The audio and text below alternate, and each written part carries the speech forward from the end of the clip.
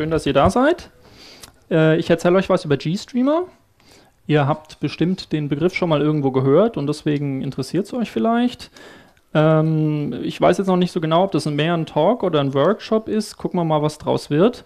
Es ist also auf jeden Fall so, dass ähm, es für euch äh, einen Link gibt, ähm, pads.schaffenburg.org slash eh18 und da sind äh, alle Command-Lines drin, die ich jetzt verwenden werde. Da müsst ihr also nichts von den Folien abtippen.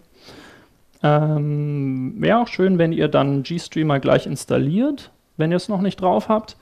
So für die äh, Hauptdistros äh, ist es auch in dem Pad drin. Ähm, also da könnt ihr dann einfach hier den Kram rauskopieren und ausführen bei euch im Terminal. Jetzt irgendwie in den ersten paar Folien, wo ich ein bisschen was zu den Grundlagen erzähle, das drauf installieren. Ich mache mal hier noch Fullscreen. Gut, also erstmal zu mir. Ich heiße Andreas Frisch und ich bin aus Aschaffenburg. Das ist hier so Nachbarstadt mehr oder weniger. Und ich beschäftige mich schon seit über zehn Jahren mit GStreamer. Ähm, das hat begonnen bei der Firma Dream Multimedia. Wir haben ähm, ja, Linux-basierte Set-Top-Boxen gebaut, äh, die sich eben auf GStreamer gestützt haben für alles, was keine direkte Fernsehwiedergabe war. Also wenn man die, mit diesem Receiver irgendeinen Internetstream abgespielt hat oder eine MP3, dann lief das über GStreamer. Ähm, seit anderthalb Jahren bin ich jetzt bei Make TV und da verwenden wir eben GStreamer im Backend für so Cloud-basierte Streaming-Produktionen. Also zum Beispiel die ISL verwendet da unseren Kram, ein paar Fernsehstationen. Und nebenbei mache ich das noch im Aschaffenburger Hackerspace bei Schaffenburg e.V. Da haben wir vorne im Hackcenter unsere Fotobooth zum Beispiel stehen die verwendet für die äh, Foto- und für die Videopipeline auch GStreamer. Gut, also zur Gliederung. Ich erzähle erstmal, was GStreamer nicht ist und was es ist, was es sein möchte und wofür es gut ist. Und dann ein bisschen so über den Grundaufbau, ähm, wie das innen unter der Haube aussieht. Ähm, dann erzähle ich was über die Benutzung der Werkzeuge, die da mitgeliefert werden. Da sind so ein paar Tools dabei, die einem den Einstieg sehr erleichtern und dann auch die Arbeit damit. Und dann, wenn alles so läuft, wie ich mir das gedacht habe, dann können wir vielleicht noch zusammen ein bisschen rumbasteln mit GStreamer. Also ich fange vielleicht mal an. Was es nicht ist, ähm, da herrschen ein paar Missverständnisse. Es ist nämlich zum Beispiel mal kein Media Player. Also GStreamer ist kein VLC oder sowas in der Art. Man kann einen Media Player damit bauen, und es ist auch so ein Minimalbeispiel eines äh, Command-Line-Abspielprogramms dabei. Aber es ist mehr als nur ein Media Player. Es ist auch nicht nur eine Codec-Sammlung, so wie äh, FFmpeg oder sowas in der Art. Äh, es hat Codecs dabei, aber ähm, es ist wiederum mehr als das. Es ist auch kein bloßes Konvertierungsprogramm, es ist kein Streaming-Server, es ist kein Ersatz für ALSA oder Pulse Audio, sondern es benutzt es alles oder es kann benutzt werden, um sowas zu bauen. Ähm, GStreamer nennt sich eine Open Source Cross-Plattform Pipeline-basierte erweiterbare Multimedia Framework. Ähm, zu den einzelnen Begriffen sage ich gerade jeweils ein ganz kleines bisschen. Open Source ist schon ein sehr altes Projekt, ähm, wurde 1999 schon begonnen. Es hat eine sehr aktive Community von den Entwicklern, von den Core-Entwicklern und auch von den äh, Nutzerentwicklern, die es einsetzen.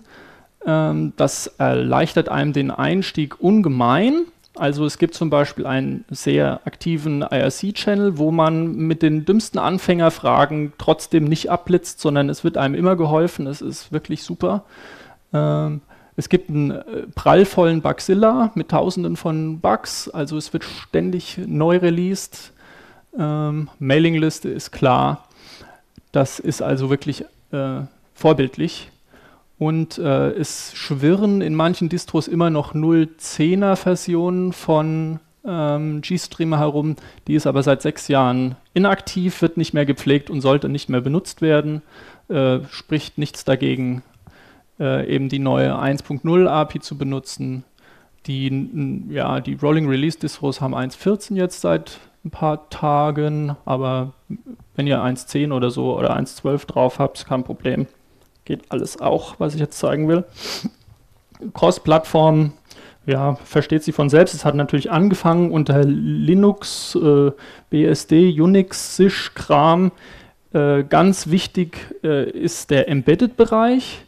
Also wenn ihr zum Beispiel an ähm, Smart TVs denkt oder an äh, die Entertainment-Dinger im Flugzeug, das ist oftmals G-Streamer, was da drin steckt. Oder halt wie erwähnt, in äh, Set-Top-Boxen ist es oftmals verwendet. Ähm, ja, ganz lustige äh, Anwendungsgebiete gibt es auch noch, äh, zum Beispiel das ist irgendwie vorletztes Jahr oder so äh, rausgekommen, dass die das benutzt haben, um diese Gravi Gravitational Waves, diese Gravitationswellenforschung, da haben die auch in irgendeiner äh, Berechnung G-Streamer eingesetzt, irgendwelche G-Streamer-Elemente. Und auch auf der ISS gibt es G-Streamer. Es wird also da teilweise für Videostreaming verwendet auf der internationalen Raumstation. Abgesehen davon natürlich so für die normalen Desktops, auch Apple und Windows und natürlich auch für Android gibt es GStreamer-Builds. Äh, Pipeline-basiert bedeutet, in GStreamer dreht sich alles darum, dass man Elemente hintereinander reiht.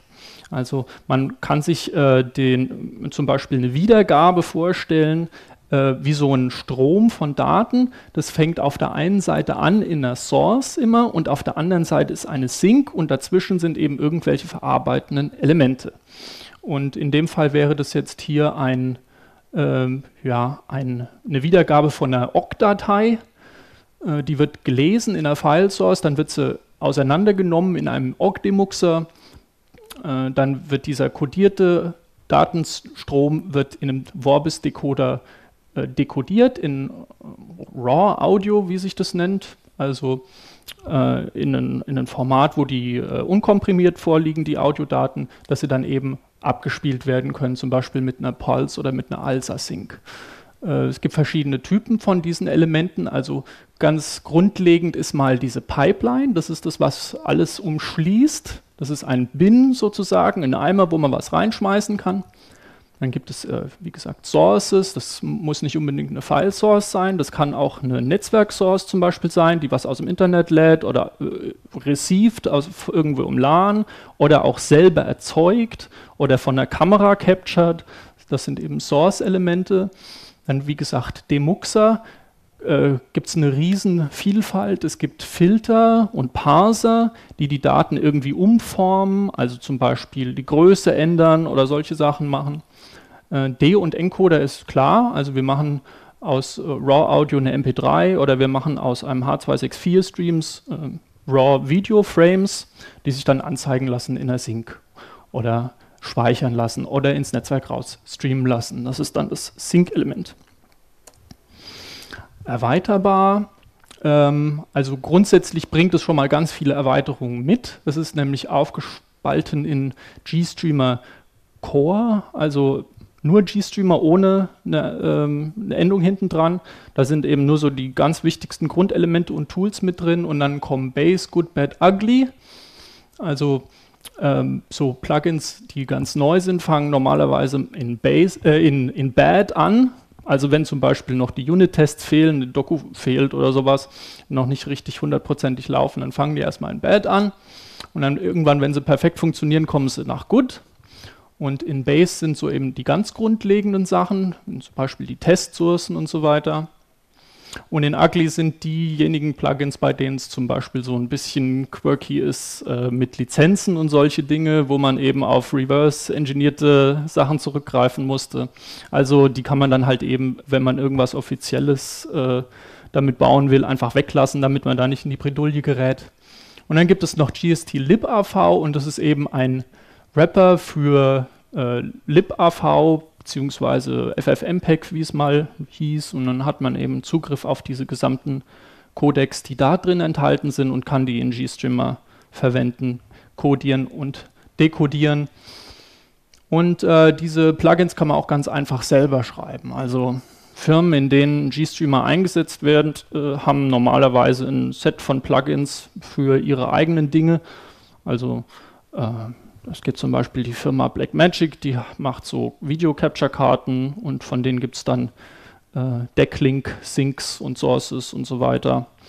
Ähm, geht also selber. Kann man natürlich auch proprietär machen, das muss man dann nicht veröffentlichen. Äh, genau, Multimedia, gut, da muss man nicht da viel dazu sagen. Aber ganz interessant vielleicht zu erwähnen ist, dass der GStreamer Core an sich äh, vollkommen media-agnostic arbeitet, also einer File-Source oder einem Pufferelement in der Queue ist es vollkommen wurscht, was da jetzt für Daten durchgehen. Man kann damit äh, irgendwie eine binäre ausführbare Datei lesen, wenn man das will, oder eine Textdatei. Also das muss, muss kein Medienformat sein. Also prinzipiell äh, sind die Elemente erstmal da überhaupt nicht eingeschränkt sondern ähm, das spezifiziert sich dann halt je nachdem, was man benutzt. Aber so die Grundelemente sind Media-Agnostik. Gut, und dann ist das Ganze ein Framework. Das be bedeutet, wir verwenden es, um andere Sachen zu bauen, im Prinzip. Also äh, hier nochmal so eine, eine, Übersicht, was da alles jetzt eben mit reinspielt. Das sind eben diese ganzen Plugins unten, oben die Tools. Ähm, in Orange Beispiele, wofür es eingesetzt werden kann, wofür es eingesetzt wird. Ja, genau. Und es gibt eben Bindings für ganz viele Sprachen. Das ist jetzt nur ein, ein kleiner Ausschnitt der Bindings, die es gibt. Man kann also eigentlich in seiner Lieblingssprache seine Applications bauen und damit auf GStreamer zurückgreifen.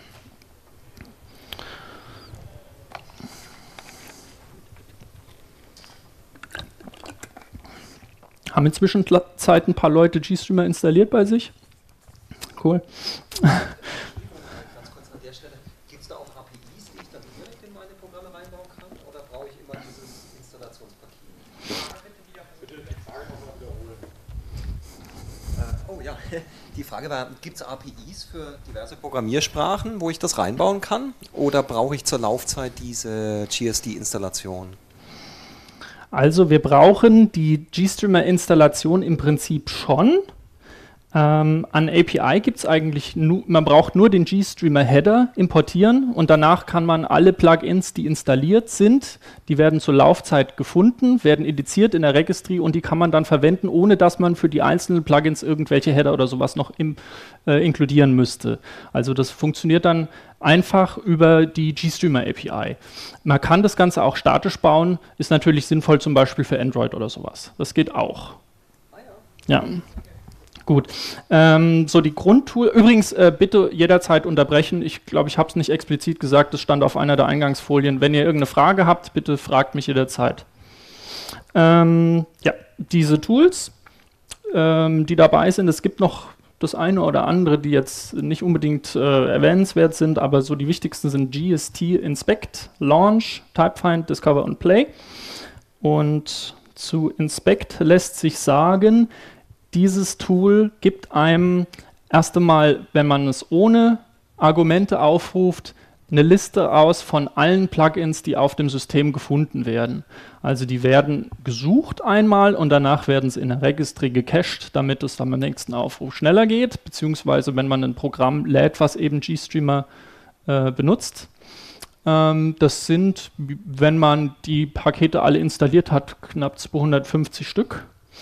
Ähm, man kann also da drin schon mal so grob greppen, wenn man eine, eine, Idee hat. Also man möchte irgendwas mit MP3 machen, dann macht man halt mal ein GST Inspect 1.0 grep MP3 oder so und dann kriegt man schon mal die Elemente, die MP3 im Namen haben. Und wenn man, äh, wenn man GST Inspect mit einem Elementnamen oder Plugin-Namen aufruft, dann kriegt man zu denen ähm, weitere Informationen angezeigt. Das ist also sehr, sehr praktisch. Dann gibt es GST Launch und das ist eben ein super praktisches Tool, mit dem man ähm, so eine Pipeline aufbauen kann. Einfach auf der Kommandozeile äh, kann man die hintereinander hängen. Man muss also in, in dem Fall nichts programmieren. Man muss nicht gleich C-Code schreiben, um irgendwas zu testen, sondern man macht GST Launch und kann dann das reinhacken. Das mache ich jetzt gerade mal. Ich kann ja auch mal hier ein GST Inspect ausrufen, aufrufen. Dann sieht man auch, was ich hier so drauf habe alles. Also es ist eine große Liste von, von Sachen. Und wenn ich jetzt ähm, wenn ich jetzt hier zum Beispiel File Source eingebe, dann sehe ich eben, was File Source alles so macht. Wer hat es geschrieben? Das ist eine Source, die ist in den Core Elements enthalten und ähm, das sind jetzt die Properties. Was Properties sind, komme ich gleich dazu. Und wenn ich jetzt mal zum Beispiel das hier mir kopiere und ausführe, dann was erwartet ihr, was vielleicht passieren könnte? Also, hm? Danke für den Hinweis. Dann kriegt man ein Testbild. Ne? Hier oben. Also die Videotest-Source erzeugt dieses SEMTI-Pattern noch mit so einem Rauschen dazu. Video Convert ähm, sorgt dafür, dass es auf jeden Fall äh, in das richtige Format konvertiert wird, was dann eine ähm, ja, systemspezifische Video-Sync anzeigen kann. Also ich könnte da jetzt hier reinschreiben X-Video-Sync, dann funktioniert es nur unter Linux. Wenn ich das Ganze äh, unter Mac ausführe mit der Auto-Video-Sync, dann nimmt es halt auf Mac gleich die richtige Sync oder auf Windows, je nachdem, was eben da für eine Video-Sync vorhanden ist, wird die richtige benutzt. So. Kriegt ihr das hin mit Audio? Will es mal jemand probieren? Wie könnte da die entsprechende Command-Line heißen?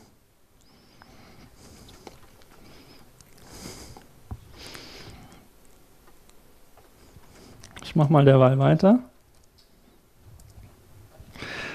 GST Typefind ist äh, dafür geeignet, um in einer Datei den enthaltenen Stream-Typ zu finden.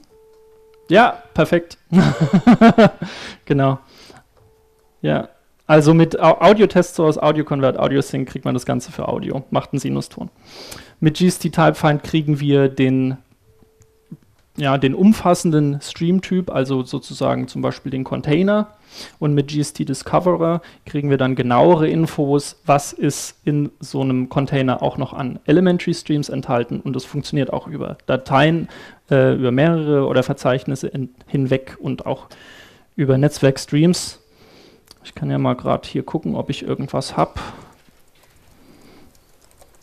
Hm, da mache ich mal hier GST äh, Typefind von irgendeiner so Datei. Dann wird er mir sagen, da ist ein Matroska-Video drin. Und wenn ich jetzt mal hier Discoverer aufrufe, dann zeigt er mir eben für jede Datei in dem Verzeichnis an, was da so drin ist. Also Matroska Container enthalten ist ein H264 Videostream und die Bitrate zeigt auch noch an. Gut. GST Play, das ist jetzt so ein minimaler Media Player, mit dem kann man eben irgendwas abspielen. Hm. Video Test Source nochmal, ist halt hier jetzt mein groß. Dann spielt er das ab. Könnte man auch einen Netzwerkstream eingeben und er sucht sich dann eben die entsprechenden Elemente zusammen und gibt das wieder. Haben wir mehr zum Testen, also ist nicht sonderlich komfortabel. Gut, jetzt Properties, habe ich gerade schon mal was dazu gesagt. Das äh, ist dasjenige, was man bei GST Inspect findet. Und zwar gibt es da ja, für jedes Plugin eine verschiedene Liste. Name können sie alle, also den kann man immer einen Namen geben. Und hier bei der File Source gibt es zum Beispiel die Möglichkeit zu beschränken, wie viele Buffer der liest. Ob er einen liest oder ob er die ganze Datei liest. Standardmäßig ist die ganze Datei. Solche Sachen eben. Also das sind Stellschrauben, mit denen man äh, das Verhalten von den Elementen beeinflussen kann. Und diese Properties, die äh, sind keine Erfindungen von GStreamer, sondern die kommen aus äh, GObject. Also GObject ist die äh, das Framework, mit denen wiederum das Framework GStreamer geschrieben ist. Das ist halt so eine objektorientierte Erweiterung für C. Äh, das kommt, glaube ich, ursprünglich von äh, der Entwicklung von GIMP, wenn mich nicht alles täuscht. Also irgendwo aus der GNOME-Welt. Und es ist sehr praktisch und sehr umfangreich. Also GObject und glib Uh, und die machen automatisch schon ähm, diese Properties, also G-Objects können Properties haben und die können zum Beispiel bestimmte Ranges unterstützen. Wenn ich jetzt hier ähm, GST Launch File Source bla gleich 1, 2, 3 mache, dann wird er mir sagen, äh, bla es nicht. Mhm. Oder wenn ich mache äh, num buffers ist gleich xyz, dann wird er mir sagen, oh, num buffers dass er es nicht auf XYZ setzen kann, weil es eben numerisch sein muss und kein String sein darf. Ne? Also darüber braucht sich GStreamer dann gar keine Gedanken zu machen oder die Elemente müssen das nicht testen, weil das eben vorher schon abgefangen wird. Ähm, ja, ich habe es auch schon in verschiedenen Tonhöhen piepen hören. Also mit Freak ist gleich eine Zahl, kann man die Frequenz zum Beispiel beeinflussen, die von der Audio-Test-Source genau wiedergegeben wird oder erzeugt wird. Gut, jetzt äh, Caps. Was sind Caps? Ich habe was übersprungen. Caps sind Capabilities. Es steht wörtlich übersetzt für Einsatzmöglichkeiten und äh, die definieren eben bei vielen Elementen, was die unterstützen. Also was darf rein, was darf raus. Meiner File Source ist das Any, die kann alles, File Sync auch, ähm, aber die Audio-Test-Source oder die Video-Test-Source zum Beispiel, bei denen ist das eingeschränkt. Ich kann jetzt mal hier diese Kommandozeile ausgeben, also quasi unsere GST Launch, aber noch mit einem V hinten dran. Und jetzt kriegt man hier ein paar mehr Infos, nämlich unter anderem, welche Caps die verwenden. Und dann sieht man hier, der hat sich geeinigt auf äh, Video X RAW, also Roh, Video-Rohdaten mit einem bestimmten Format, i420, und jetzt hier eine Width und eine Height.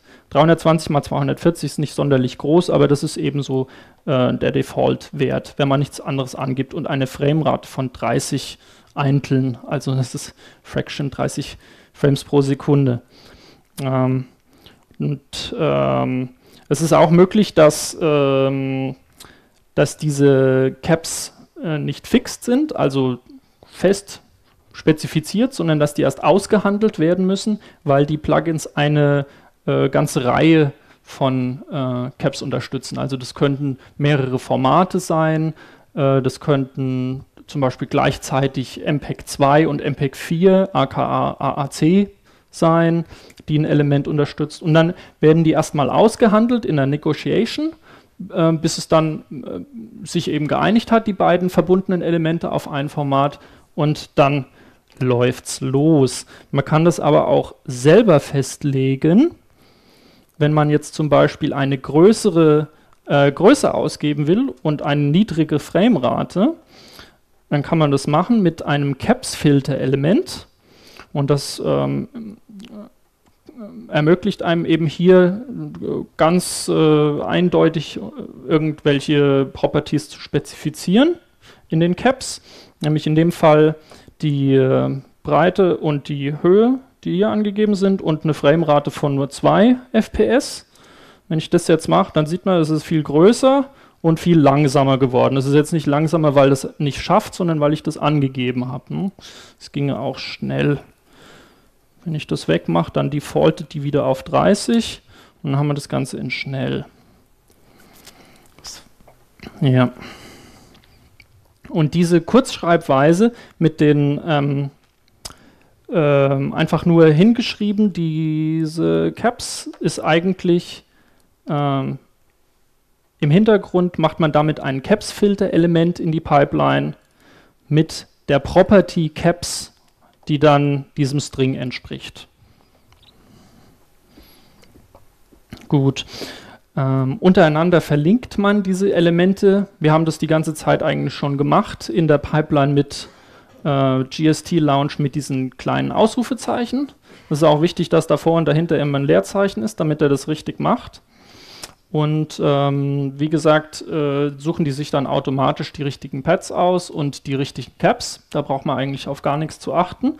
Man kann und teilweise muss man das auch, aber äh, ganz konkret auf äh, dedizierte Pads zugreifen von Elementen, wenn man zum Beispiel ein, mh, hm, ja, einen MPEG-TS-Stream hat mit verschiedenen Sprachen drin, dann hat man mehrere Audiospuren und woher soll man wissen, welche von denen man jetzt abspielen will? Das kann man machen, indem man auf diesen MPEG-TS-Demux zugreift und dann mit Punkt und dann äh, den Pad-Namen. Also die werden durchnummeriert in dem Fall. Das ist auch wieder in GST Inspect zu finden, wie, nach welchem Schema die benannt werden. Und dann wäre das dann im Audio unterstrich 0, Audio unterstrich 1 und so weiter. Und dann hat man da die einzelnen Sprachen drin. Die anderen kann man dann wegschmeißen oder sonst was machen damit. Und ähm, diese Pads, die haben auch immer Templates. Und in den Templates ist eben einmal die Richtung enthalten, ob das ein Source oder ein Sync-Pad äh, ist und ähm, ob das always auf Request oder sometimes vorhanden ist. Also ich kann ja mal gerade für ein zum Beispiel für Matroska Mux das Ganze anzeigen. Und dann sehen wir, das hat hier ähm, Sync Video Sync Template on Request. Das heißt, nur wenn man ein Video-Pad dort requestet, dann erzeugt er das auch in dem Moment. Standardmäßig sind die nicht vorhanden weil das eben auch beliebig viele sein könnten. Das gleiche gilt für die Audio-Pads. Ja. Andererseits ist das Source-Pad, also dasjenige Pad, an dem äh, Matroska-Mux-Element, wo dann der fertig gemuxte Stream rauskommt, always vorhanden, weil immer was rauskommen muss. Ansonsten ist das Ding ja überflüssig. Gut.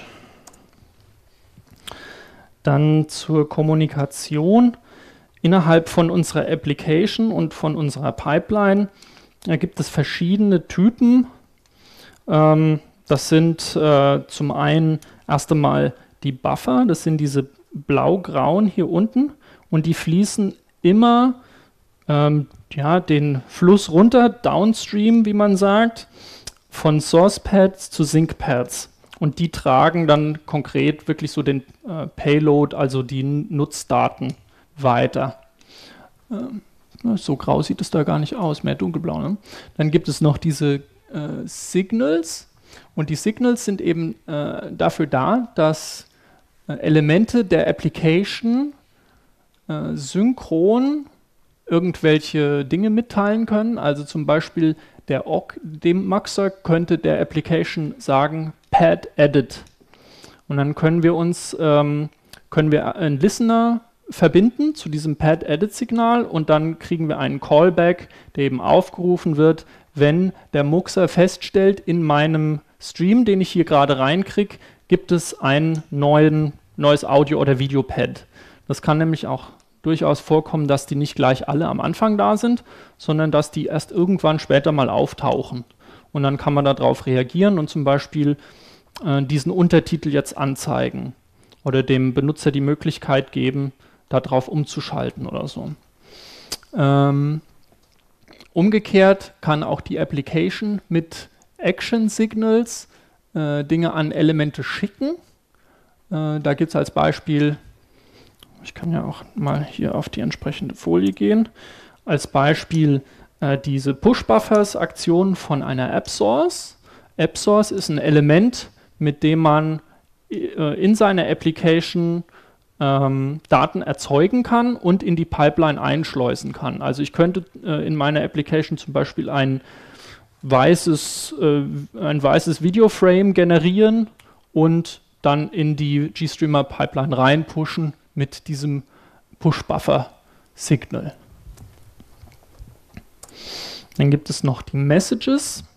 Also man kann äh, einen Message-Bus anlegen und da dann ähm, äh, Nachrichten abholen, die Elemente dort reinschreiben. Also das könnten Dinge sein, wie zum Beispiel, dass ähm, Tags gefunden wurden, also irgendwie MP3-Tags, dass sich die Bitrate geändert hat, solche Dinge.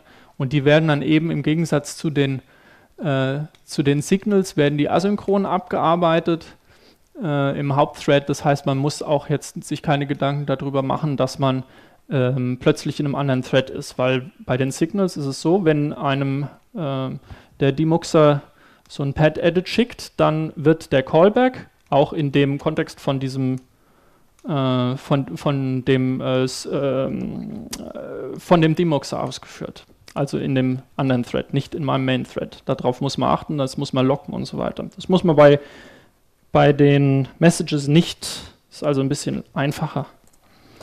Dann gibt es noch Events und die können ähm, Kommandos sein, zum Beispiel um zu suchen in so einem Stream oder um ein End-of-Stream auszulösen, also äh, ja, wenn man das Ganze beenden möchte. Und das können, äh, können auch Elemente untereinander hin und her schicken. Also solche Dinge können sowohl äh, den äh, Fluss hoch als auch runter wandern.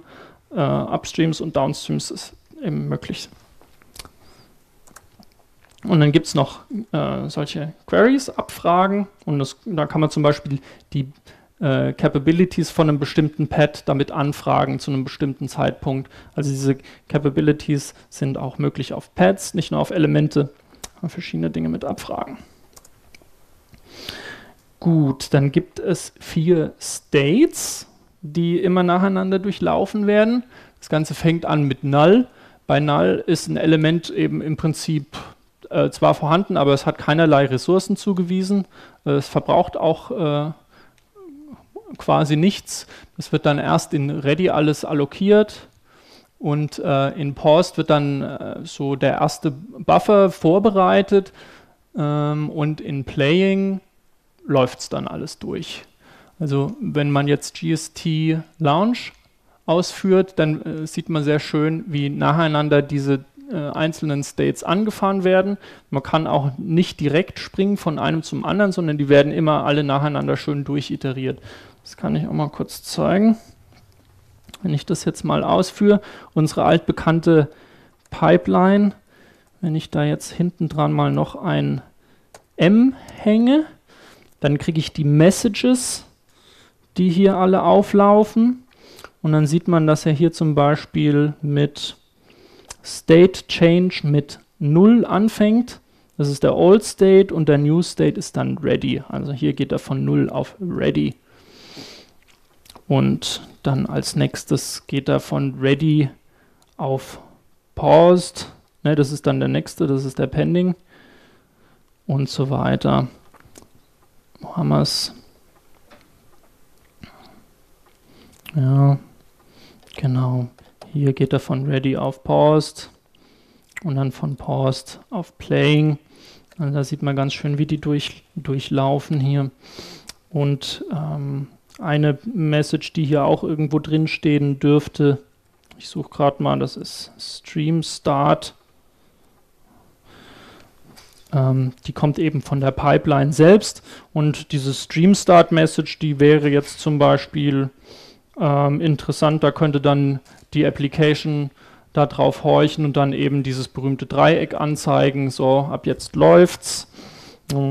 Also ganz interessant, da mal reinzugucken, was eigentlich abgeht. Okay. Gut. Ja, ich habe schon mal kurz Threads erwähnt. Ähm, also GStreamer ähm, beruht ganz äh, heavily, ganz äh, wichtig auf Threads. Also jedes Mal, wenn man irgendwo brancht, wenn man irgendwo eine Queue äh, einfügt, gibt es einen neuen Thread. Das ist eben ganz wichtig, damit sich die einzelnen ähm, die einzelnen Äste von diesem Strom nicht gegenseitig blockieren. Das heißt, wir brauchen nach jedem n zu 1 äh, nein, vor jedem n zu 1 und nach jedem 1 zu n äh, Element brauchen wir eine Queue. Das ist also eigentlich so ein kleiner Zwischenspeicher, der eben die äh, Sache voneinander entkoppelt. Weil es gibt jetzt zum Beispiel ähm, MP4-Dateien oder sowas, wo ein Audio-Video-Interleave von mehreren Sekunden ist. Also in der Datei sind vielleicht mal zwei, drei Sekunden Audio, dann sind zwei, drei Sekunden Video, dann wieder Audio und so weiter. Wenn ich mir vorstelle, mein ähm, Demuxer liefert mir die Daten genau so, wie sie in der Datei sind. Das heißt, es kriegt jetzt als erstes Mal nur der Audiodecoder zwei Sekunden Audio und der Videodecoder in der Zeit nichts. Das heißt, was müssen wir machen? Wir müssen diese zwei, drei Sekunden zwischenspeichern im Audiodecoder und dann in dem Moment, wo der Videodecoder auch Daten kriegt, dann können die beide zusammen loslaufen. Ansonsten äh, passiert eben gar nichts. Und das ist äh, also was, was ganz wichtig ist. Man muss nach einem Demuxer an jedem Pad vorher erstmal eine Queue einbauen. Ähm, das kann ich hier auch mal kurz ausführen. Ein T ist ein T-Stück-Element und das brancht eben auch. Damit kann man einen Datenstrom aufteilen. Das ist sehr praktisch, wenn man ähm, diese Daten, die die Audio-Test-Source generiert, in zwei verschiedenen Elementen am Ende benutzen will. Also was ich jetzt hier mache ist, ich tue das einmal abspielen in der Audio-Sync und einmal mache ich eine WAV-Datei draus und schreibe die. Hört sich gut an, ne? Und jetzt, wenn ich mir das mal anschaue, dann habe ich hier diese bla.wav erzeugt. Gst typefind bla.wav und siehe da, es ist tatsächlich eine WAV-Datei drin. Also auf die Art und Weise kann man eben mit Tees aufteilen. Ähm, was noch wichtig ist, ich muss äh, dem Element einen Namen geben, ansonsten kriegt es den Default-Namen T0, also die werden dann durchnummeriert damit ich dann von dort aus wieder weiter verzweigen kann. Also mit diesem Punkt ähm, greife ich eben auf den Namen T zu, den ich hier zugewiesen habe, ohne jetzt konkret äh, ein Pad anzugeben. Ich könnte jetzt hier auch noch Source 0 und Source 1 dahinter schreiben, aber das ist nicht notwendig, weil die eh ja gleich sind. Gut. Dann Playbin. Ich habe vorhin den GST Play kurz gezeigt und der verwendet intern ähm, das Element Playbin und das ist eben so ein ganz hochleveliges, schlaues Konstrukt, was äh, als einzige Property benötigt ein, eine URL, also eine Quelle, eine URI.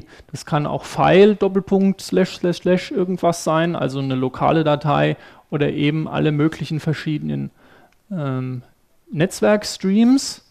Also jedes Plugin, was äh, in meiner Registry steht, meldet sich an, ähm, also jedes Source-Element mit den Schemas, die es unterstützt. Also es gibt zum Beispiel ein, äh, eine Soup HTTP Source und die sagt dann, die kann das Schema HTTP und HTTPS.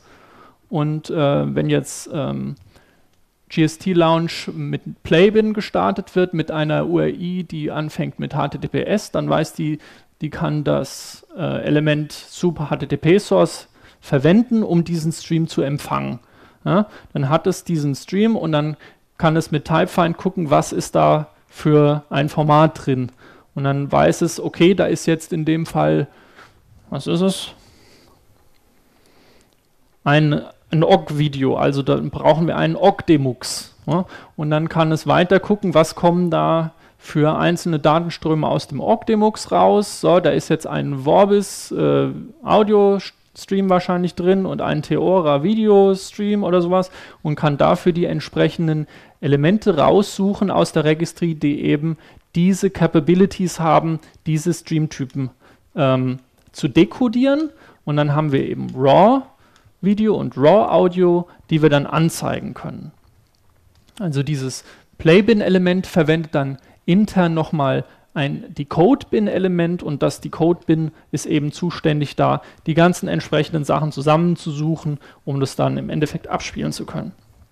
Und Playbin verwenden auch die meisten ähm, Abspielprogramme, die man mit, äh, mit GStreamer bauen kann. Also auf der Dreambox, äh, der Media Player war auch mit Playbin. Ja, obwohl da ein paar Kniffligkeiten dabei waren, weil die äh, Dreambox zum Beispiel eben auch äh, direkt H264-Streams abspielen kann. Äh, es muss nicht unbedingt oder es darf sogar nicht dekodiert werden zu RAW-Videos, so wie das beim PC meistens der Fall ist, weil damit kann die gar nichts anfangen. Abgesehen davon würde die das auch nicht schaffen. Also der Chip, der in der Dreambox drin ist, will H264 abspielen, will MPEG 2 abspielen. Ne? Ähm, man kann also auch die Formate, die Decode-Bin bzw. Play-Bin dann ausgeben, nochmal weiter einschränken. Also wenn's, wenn man äh, nicht unbedingt RAW haben will. Das gleiche gilt natürlich für Audio auch.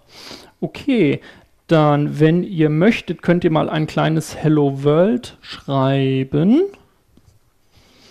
In, ähm, in dem Pad ist es auch enthalten. Könnt ihr euch raus kopieren oder runterladen mit wget. Und dann vielleicht schafft es jemand, das zu compilen. Das wäre sehr cool. Derweil kann ich ja mal hier noch ein paar lustige Dinge zeigen. Also es gibt zum Beispiel, kennt ihr OpenCV? Das ist, also wir können erst einmal mit Auto Video Source, das gibt es auch, können wir auf äh, Kameraelement zugreifen.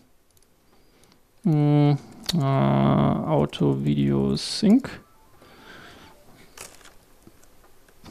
Hallo? Das ist jetzt so unscharf und speckig von meinem Aufkleber, dass es wahrscheinlich nicht funktioniert, aber wir probieren es mal. ich schmeiße da jetzt mal einen Face Detect rein. Ja, und dann haben wir jetzt hier zum Beispiel ein Element, was das Gesicht erkennt, mehr oder weniger gut. Ja, und da eben hier diese Kreise einzeichnet. Das könnte man zum Beispiel benutzen. Oder wir könnten, wir könnten mal eine Datei erzeugen, indem wir aus einer Video-Test-Source und einer Audio-Test-Source eine Matroska-Datei machen. Also, ah, ich höre es schon. Bei manchen funktioniert es bereits kann ich jetzt mal machen. Ich lasse es mal ganz kurz laufen. Das ist jetzt eine Sekunde, 1,8 Sekunden gelaufen. Und wenn ich jetzt diese, ähm, diese Datei mir mal angucke, test.mkv, dann stelle ich fest, da sind jetzt schon 15,8 Sekunden drin. Kann sich jemand vorstellen, warum das so ist? Ich habe die nur für 1,8 Sekunden laufen gehabt, die Pipelines sind aber fast 16 Sekunden drin. Nee, ist nicht komprimiert, sondern es ist async. Also ich habe jetzt in dieser Pipeline nicht wie vorhin bei unserer WAV-Datei noch eine, ähm, äh, eine Audio-Sync. Die Audio-Sync ist Sync, also die ist synchron. Das heißt, die Pipeline läuft nur in der Geschwindigkeit, in der sie auch abgespielt wird. Jetzt habe ich in dem Beispiel, habe ich aber keine Audio-Sync mehr drin, sondern ich habe nur eine File-Sync. Und wenn ich jetzt mal GST Inspect auf diese File-Sync mache, dann sehe ich, dass die hier ein Async-Property hat und die ist default true. Das heißt, die schreibt so schnell, wie sie Daten kriegt. Und die Audio- und die Video-Source, die produzieren Daten so schnell, wie sie können. Das heißt, ich habe jetzt innerhalb von dieser einen Sekunde, die das gelaufen ist, 16 Sekunden produziert und gespeichert. Hm. Wenn ich die jetzt abspielen würde, ähm, GST Play Test MKV, dann läuft das auch so lang. Hm.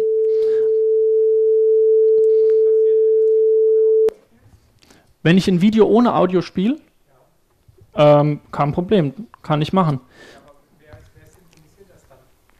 Die sind äh, beide selber getimestamped. Also, also in dem Fall äh, wäre es kein Problem. Es würde beides einzeln auch richtig laufen. Ja. Also die Frage war, wer synchronisiert das Ganze, wenn nur Video oder nur Audio abgespielt wird. Ja? Also äh, in dem Fall, wo wir eine MKV-Datei haben, läuft es mit Timestamps also es gibt ja zwei Arten von Timestamps, die sind in den Buffern normalerweise enthalten. Es gibt die PTS und DTS, Presentation Timestamps, Decode Timestamps, und die sind da beide gesetzt. Das heißt, wir können es ohne Probleme separat abspielen. Das ging auf jeden Fall. Hat es noch jemand geschafft, das zu compilen oder braucht jemand Unterstützung dabei? Ups. Wo sind wir? Programmierung hier. Und dann könnte ich vielleicht mal was zu dem Code erzählen. Ähm, da ist er.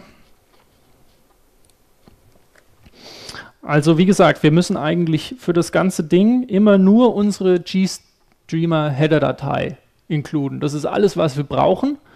Ähm, eigentlich auch für komplexe Projekte, weil wir hinterher zum Beispiel diese Signale und so weiter, die können wir alle verwenden, ohne für die einzelnen Elemente nochmal Header zu brauchen. Das ist ganz praktisch. Dann haben wir hier unsere Main-Funktion. Ähm, die Pipeline ist unser alles umschließender Bin, wo dann der ganze Krempel hinterher reingesteckt wird. Das brauchen wir auf jeden Fall. Dann haben wir hier noch einen Bus. Wofür wir den brauchen, sage ich gleich. Gut, dann müssen wir das GST init einmal laufen lassen. Das übergibt in dem Fall jetzt noch die Kommandozahlenparameter, das bräuchten wir gar nicht, also das könnten wir auch Klammer auf Klammer zu machen. Und jetzt an der Stelle kommt was, was super praktisch ist fürs Prototyping. Das ist nämlich das GST Parse Launch. Und mit dem kann man äh, so eine Pipeline, wie man sie auch mit GST Launch ausführen kann, einfach als String direkt reinknallen, muss sich überhaupt keine Gedanken machen um irgendwas. Also man kann da auch diese Ausrufezeichen setzen, die Elemente hintereinander rein. Ähm, in dem Fall wird sogar eine Playbin genommen und die braucht ja nur direkt die Angabe der URI und dann macht es hier draus eine Pipeline. Das ist super praktisch. Ähm, das Null hier hinten, das ist für die Errorbehandlung. Also wenn das Ganze schief ginge, dann wird das, äh, die Fehlermeldung ein G-Error-Pointer reingespeichert. Das ist jetzt ohne Fehlerbehandlung der Einfachkeit halber. Gut, was wir dann machen müssen, um das abzuspielen, ist, wir müssen das Ganze auf State Playing setzen. Also wir könnten es auch manuell erst auf Ready und dann auf Paused und dann auf Playing, aber der Core kümmert sich darum, wenn wir es direkt auf Playing setzen, dann werden die anderen Zustände durchlaufen. Ähm, GST Launch macht das automatisch, also das fängt äh, von alleine an hier mit äh, Playing. Wenn wir das Ganze selber programmieren, müssen wir dem sagen, dass er playen soll. Und jetzt würde er schon abspielen. Ähm, das Problem ist nur, wenn ich diese beiden Zeilen nicht habe, äh, dann läuft der C-Code ja weiter und macht dann in, im gleichen Moment oder bevor der richtig fertig ist mit dem Abspielen oder richtig angefangen hat, macht er schon wieder die Pipeline zu. Deswegen müssten wir jetzt da in, irgendeine Art von Main Loop zum Beispiel haben. Also glib hat äh, Gmain Loop, die könnten wir verwenden. Äh, oder in dem Fall hier in diesem Beispiel, das ist aus der G offiziellen GStreamer Documentation aus dem Tutorial, da wird eben auf den Bus der Pipeline gehört und äh, Dort drin wird blockiert mit diesem Befehl, bis ein Fehler vorbeikommt oder eine äh, Message iOS, also bis quasi das Ende des Streams, End of Stream von dieser Datei, die hier abgespielt wird aus dem Internet, dieser Trailer, bis es erreicht wird und dann geht es hier weiter mit den Free Resources. Ansonsten, wie gesagt, wäre das hier nicht drin, würde es zwar auf Playing gehen, aber danach sofort auf Null. Wir brauchen hier irgendwas, um zu warten, damit dieses äh, Video eben abspielen kann. Klappt es bei denjenigen, die es probiert haben? Sehr schön. Äh, ich habe keinen Makefile dafür, tatsächlich nicht, aber in dem, äh, in diesem, na, wo haben wir es? In diesem Pad hier äh, in dem perz.schaffenburg.org EH18 steht die Übersetzung äh, oder der Compiler-Aufruf drin. Also das ist im Prinzip nur der Dateiname und dann hinten halt mit den CFlex und Libs von GStreamer 1.0. Wer es probieren möchte.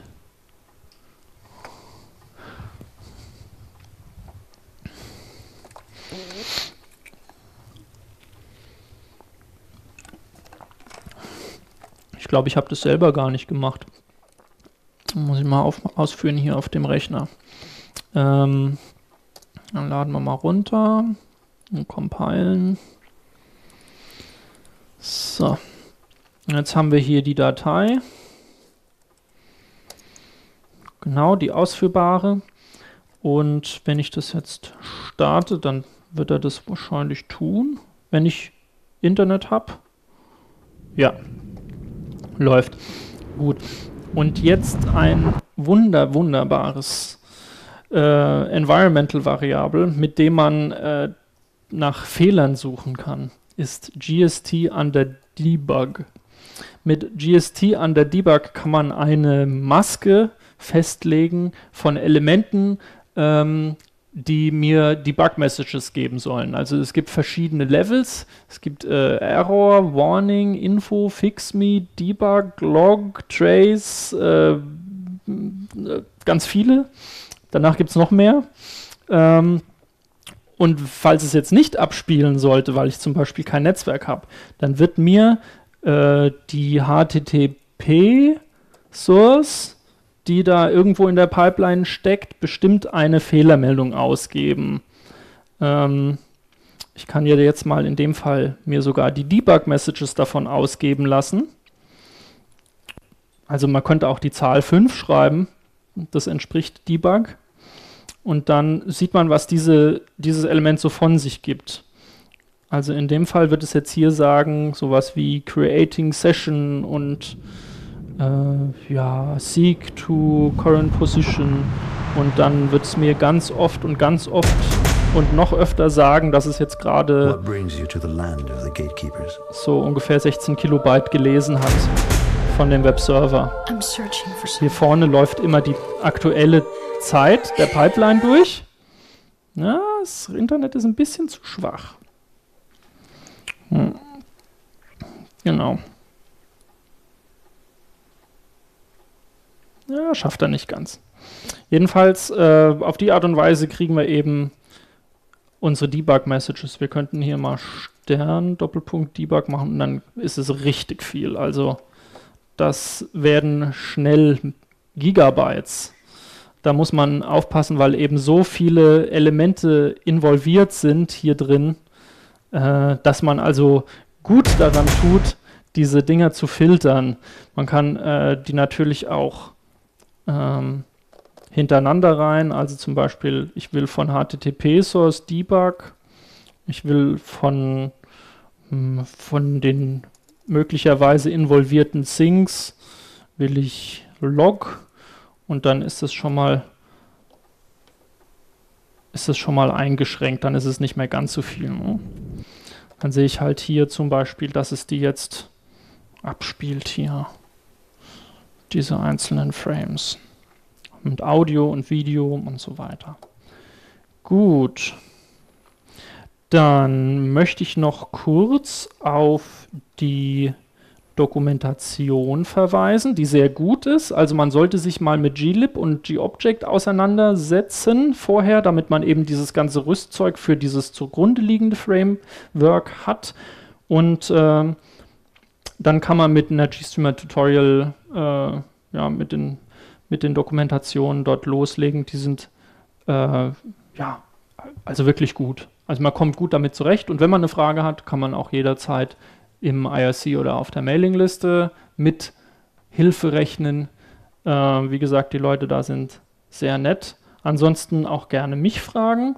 Und wer äh, Lust hat, noch ein bisschen rumzuprobieren, äh, GStreamer-Elemente zusammenzustöpseln, vielleicht können wir mal von einem zum anderen Laptop was streamen. Könnten wir mal testen mit RTP oder UDP oder was auch immer. Ähm, wir dürfen noch ein bisschen bleiben im Raum. Also wer Lust hat, kann das gerne tun.